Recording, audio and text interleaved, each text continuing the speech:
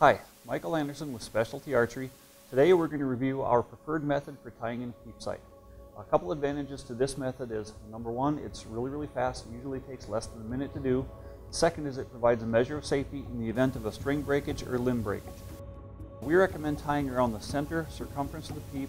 Uh, that way it keeps that peep in the string if a limb breaks or a string breaks. We like to use either a constrictor knot or a clove hitch knot tied around the center perimeter groove of the peep housing. The nice thing about both of these knots is that they're self-tightening and once they're tied, they're nearly impossible to loosen without cutting. Next, I will demonstrate these knots on a large-scale model for easy viewing. The first knot I'm going to show you is a clove hitch knot. To tie the clove hitch knot, you start by taking the serving over the top of the peep, making sure it's in the perimeter groove of the peep. On the first loop around, you're going to want to cross back over the serving material. On the second loop, you're going to want to go under the serving material. Tighten, you're going to want to make sure the serving material is in the perimeter groove all the way around the peep. Pull it tight from both ends. To finish, run the serving down the perimeter groove, around the string into a half hitch, repeat on the top, pull it tight. Same thing on the opposite side of the peep. A half hitch, another half hitch, pull it tight. Finish, you're going to want to trim this approximately a quarter inch and melt the ends, being careful not to damage the bowstring. The second knot I'm going to show you is the constrictor knot.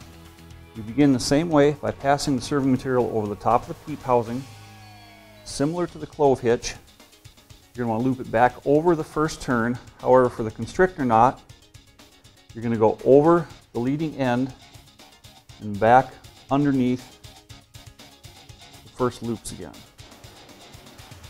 Again, when you pull it tight, you want to make sure that the serving is fully in the perimeter groove of the peep housing before pulling it tight. Because as mentioned, these knots are self-tightening. Once they're tight, they're extremely difficult to loosen.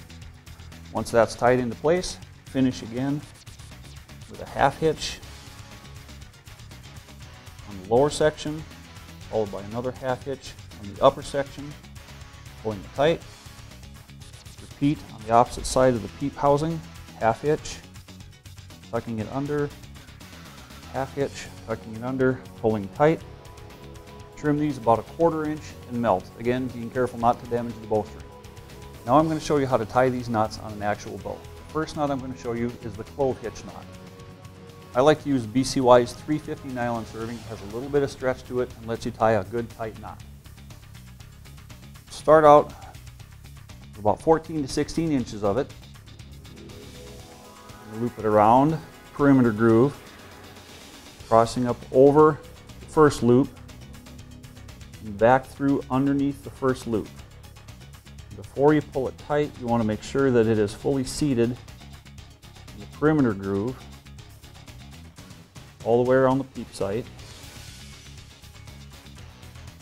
Once it's tightened, it will be extremely difficult to get it loose.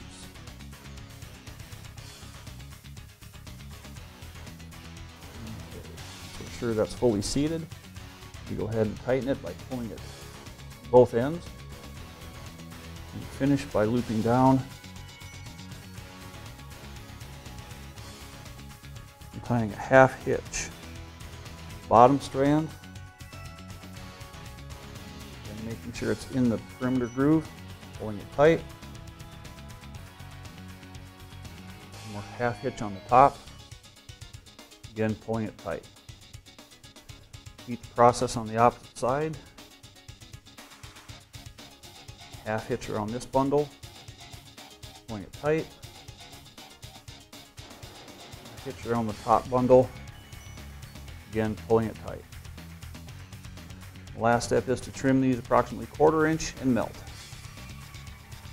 The second knot I'm going to show you on the bow itself is going to be the constrictor hitch. Again, we begin by starting over the top of the peep housing. Starts out very similar to the clove hitch, looping it around over the top of the first loop.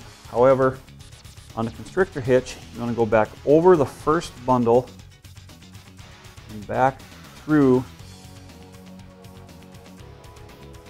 bringing that underneath both of the first two loops. You start to pull it tight, you're going to want to guide it into the perimeter groove on the peep housing. Before you pull it up fully tight, you want to make sure that it is around the peep sight in the perimeter groove on both sides before you pull it snug. As mentioned, the knot's nice because once it's tied, it's tight. It won't go anywhere. Finish by tying a half hitch on the bottom, pulling tight, half hitch on the top, pulling it tight. When that side of the peep is done, the opposite side, half hitch on bottom, half hitch on the top, pulling it tight. Last step is going to be to trim and melt these ends. Uh, again, you want to be careful you don't melt your bowstring in doing so. Once again, this was Michael Anderson with Specialty Archery. If you have any questions, be sure to visit our website at www.specialtyarch.com.